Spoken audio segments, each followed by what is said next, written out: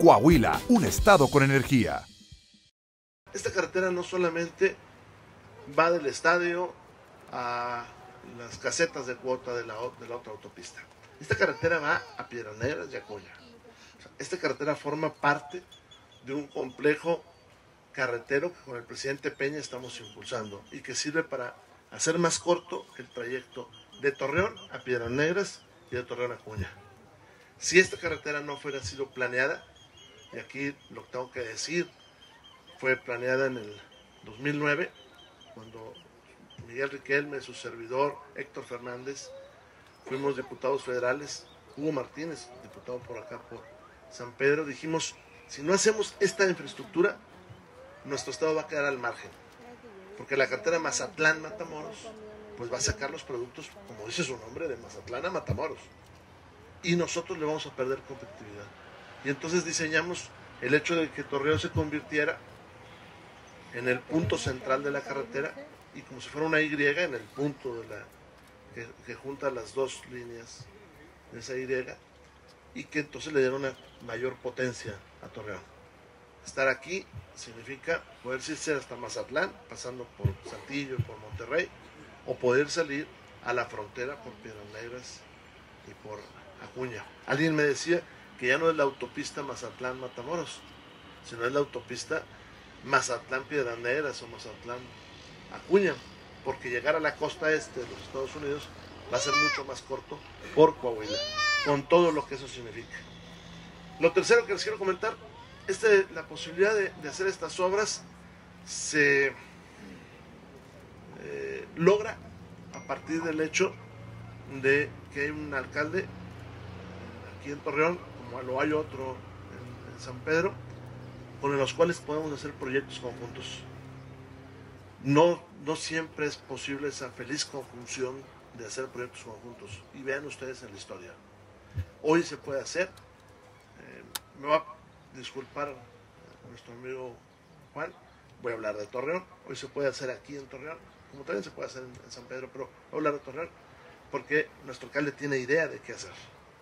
Eso que parecería muy simple, se tiene que tener cariño a la tierra, conocer la tierra y conocer la perspectiva de hacia dónde vamos. Y les puedo hacer una lista rápida de obras.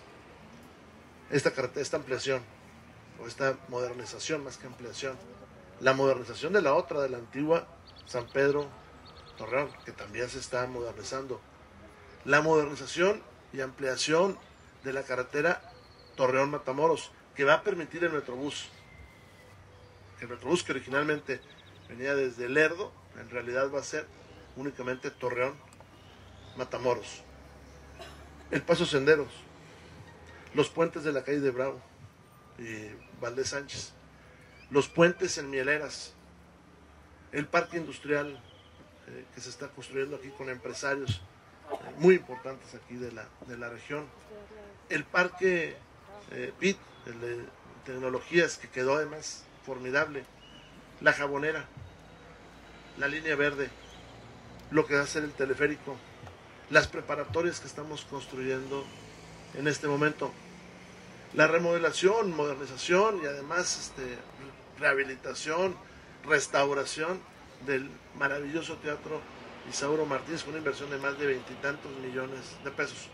Sí lo quiero decir, nunca antes en la historia habíamos tenido esta cantidad de obra. Son de las que me acuerdo de memoria en esto, pero hay muchísimas. Los pozos que se están construyendo en muchas partes de la ciudad, el paseo eh, Morelos, que va a quedar formidable, aunque algunos no quieran que quede, va a quedar formidable. Este, esas son las de memoria que no sé. Reto a alguien que me diga que en otra parte de Coahuila se están haciendo tantas obras como acá. Y reto también a que me digan cuándo se hicieron tantas como ahora. Estamos, en verdad, empujando, empujando muchísimas obras.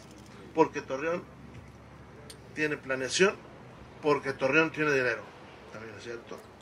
Porque el gobierno del Estado tiene dinero y por tanto el apoyo del presidente Peña. Esto se logra por eso, porque las finanzas de Torreón son muy, muy sanas.